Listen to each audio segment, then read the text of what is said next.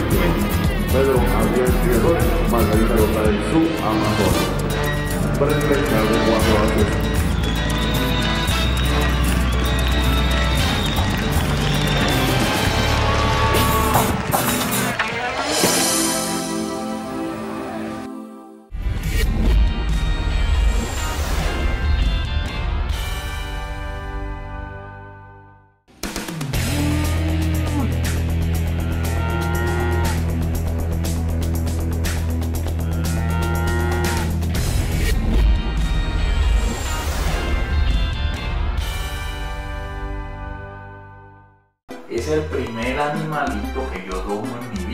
sale.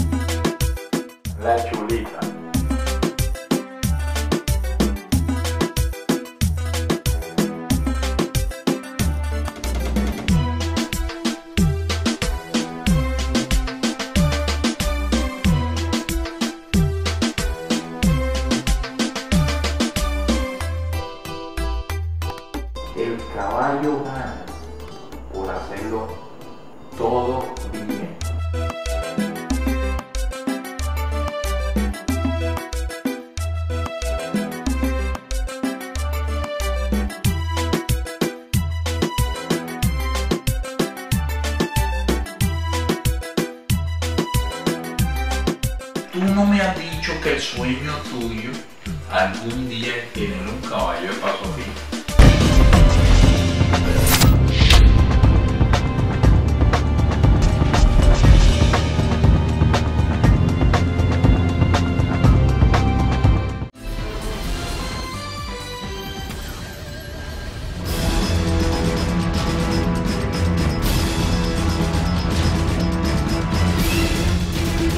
Aquella vez que yo me subí en, aquel, en el caballo en las patronales de Monteplata, porque me lo dijeron, si pudo sentir que yo tenía algún temor, porque el caballo estaba como incómodo.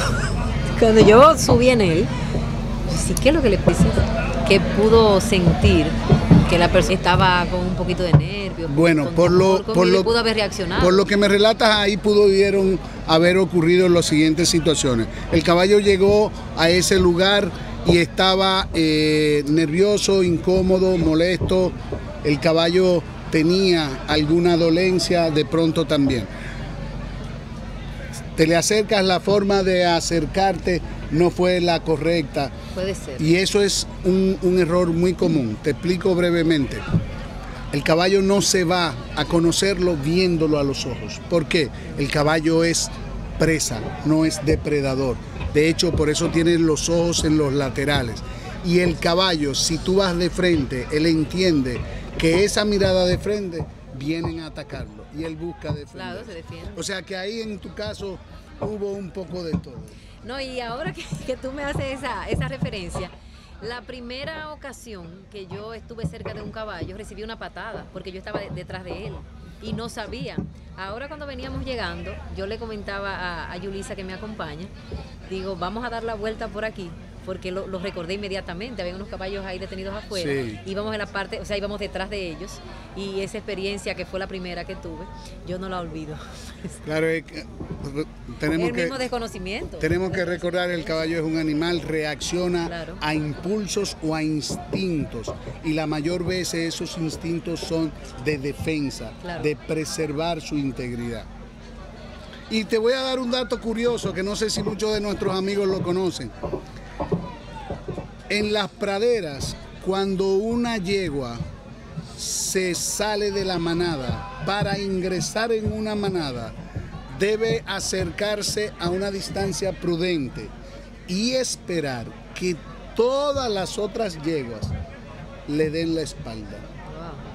Wow. Y al momento que le dan la espalda Entonces, es ¿qué que le hacer? están diciendo, ven, te dejamos entrar. Si entra antes de eso, no sale llamado a viva. Último llamado Nosotros a estamos, Laura, prevista. amigos televidentes, en el evento Último de llamado 37 a pre- 42 prevista. meses, Bellas Cassandra. Formas, siete ejemplares en pista, soberana con el número 9, La Guaira del 86 con el número 6, Dulzura con el número 11, el ejemplar Soñadora con el número 10, La Condesa con el número 8, el ejemplar Jacqueline con el número 13. Aquí una vez más, como habíamos hablado en un bloque anterior con Alberto, empezamos ya a ver ejemplares de una edad media, de 37 a 42 meses, ya estos ejemplares están a la silla, ya estos ejemplares han empezado su proceso ya hace un tiempecito de arrendamiento y se van entonces eh, fenotípicamente creciendo y definiendo la parte estética, la parte fenotípica que le caracteriza en cuanto a su belleza. Resaltar y, y podemos ver también en la pista los colores cerrados, como hablábamos, predominando el palomino, el alazán, el moro. Perdóname, cuando tú dices colores cerrados, ¿esos son los más oscuros? No, colores cerrados es, por ejemplo, ese ejemplar ese que moro, ese que va ahí, es un ejemplar moro. Ese ejemplar nace negro, completamente. Algunos pelos de la crin y de la cola son blancos. Exactamente, ese que tenemos en pantalla. Bueno, este que tenemos en pantalla ahí es castaño, este no es. Yo ahorita te lo voy a mostrar. Los colores cerrados son aquellos que no tienen ningún tipo de blanco en el cuerpo. Ah, que no es como este que está aquí. Ese tiene, un, una, un frentil blanco. Allí está el moro y aquí está otro alazán. Al final tenemos alazán, castaño, moro y palomino. ¿El palomino qué es? El palomino es el amarillo hay diferentes tonalidades y colores de palomino. Y como información te doy también, el color palomino va a una degeneración del blanco. y cuando esa generación, esa pigmentación aumenta y se va a unos cromosomas blanco blanco, entonces los ojos son azules, la boca es rosada con pinta blanca y ese ejemplar no es el mayor deseado de tener. Doncella de América. se considera la patrona, monarca es como el humano. es como el humano, exactamente. Y eso es una, una parte de, de, la, de la genética y de la conformación de los cromosomas, el X y el Y que vienen del padre y de la madre, así como entonces de la preponderancia en los colores de blanco y blanco. Ahí los estamos viendo, nosotros estamos felices, contentos.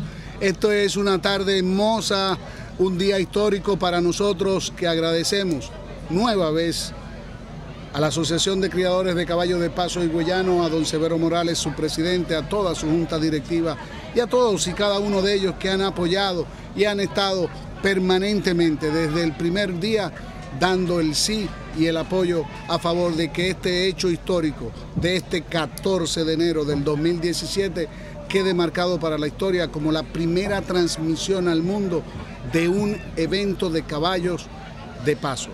Nunca antes se había realizado, pero de aquí en lo adelante van a haber muchas cosas, muchas sorpresas que estaremos trayendo a ustedes. Entre ellas, la cobertura total de la Copa de Polo Challenge 2017 en la segunda versión. Don Fernando Arate a la cabeza. Ya nos reunimos y la próxima semana estaremos viajando a Casa de Campo para llevar a ustedes el mejor de los polos del mundo. Están Nero, Pelón, Sterling, Los Tocalinos, Don Víctor Vargas, eh, handicap, jugadores handicap 10, handicap 8, y aquí le doy el dato más preciso. Vamos a tener a don Víctor Vargas, vamos a tener a Pelón Sterling con handicap 10, Juan Martín Nero con 10 goles. Se va a estar jugando a 22 goles el juego.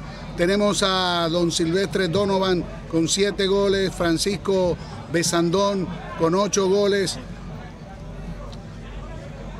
un plato fuerte, suculento, porque esos polistas son los mejores, parte de los mejores polistas del mundo.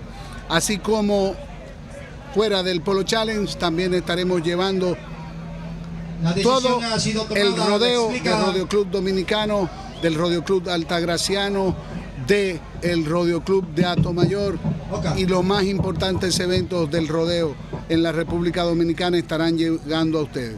Estamos abriendo también ya tarea para los señores jueces. nuestros bloques de agricultura y ganadería y ecoturismo a través del segmento que se llama AGI, Agroguía Internacional. Y para completarlo todo, Laura, los niños y los seres humanos hoy tenemos una gran debilidad más, mar- ma- marcada de una forma diferente, las mascotas. Así. Y esas mascotas estarán llegando a ustedes a través de un bloque único. Ya lo verán. Dirigido por Alana Esteves. En el mundo de los animales vamos a conocer a todas las mascotas. Don José Raúl Nova con su sección en la ruta de los canes. Y yo estaré viajando a diferentes países del mundo, a diferentes zoológicos del mundo. Y nuestra primera grabación habrá de ser irme a nadar con las ballenas en Samaná. Eso, espérenlo que ya este año, en febrero, eso llega. La decisión ha sido Ya tú sabes. Sura, una hija de Figueroa en la Bohemia. Ejemplar de color lazán. Criador y propietario Aras, Don Severo, Dulzura. Cinta roja del segundo puesto para el ejemplar marcado como el número 6. Definición. Este evento quedó juzgado. Resultado: Dulzura, la cinta azul. Guaira del 86, la cinta roja y la cinta amarilla al ejemplar Jacqueline. Una muy buena participación, una muy buena elección a nuestro entender de los señores jueces porque fueron y han venido desde inicio hasta fin en cada uno de los eventos llevando la línea, el análisis en cada uno de los eventos que tenemos hasta este momento. Nosotros agradecidos del Hotel Framboyán. Llegue a Higüey, vaya al Framboyán, busque al Señor de la Rosa y dígale que yo lo envié. Usted no va a tener en ningún otro sitio, en Higüey, una mejor atención. Gracias también a Jumbo. Nuestra gratitud también a don Benjamín Castillo y a la suplidora de langosta. Y ahí vamos a comer mañana. Gracias. Gracias a Mantenimiento Vial también, a la clínica del doctor Virgilio Sedano, que ah, son parte de las personas, entidades e instituciones que han estado apoyando nuestro evento y también nuestra transmisión. El ingeniero Elvis Hernández, el grupo Misael, Metuan, Veterinaria Santa Anita, también el rancho Los Primos, el Castillo de las Gomas, Hielo Peña, Alimento Mundito, Benjamín Castillo. Así es, Laura, gracias. Gracias, amigos. Nosotros vamos a hacer un pequeño break. Cumplimos con nuestros anunciantes y a ustedes les invitamos a que nos esperen. Recargue la soda, la picadera, vaya al baño. Ah, y llámeme a la abuelita. Porque este gran evento de la primera puntuable del caballo de paso higüeyano regresa a paso fino, firme y seguro en la ruta de Guía Ecuestre Internacional.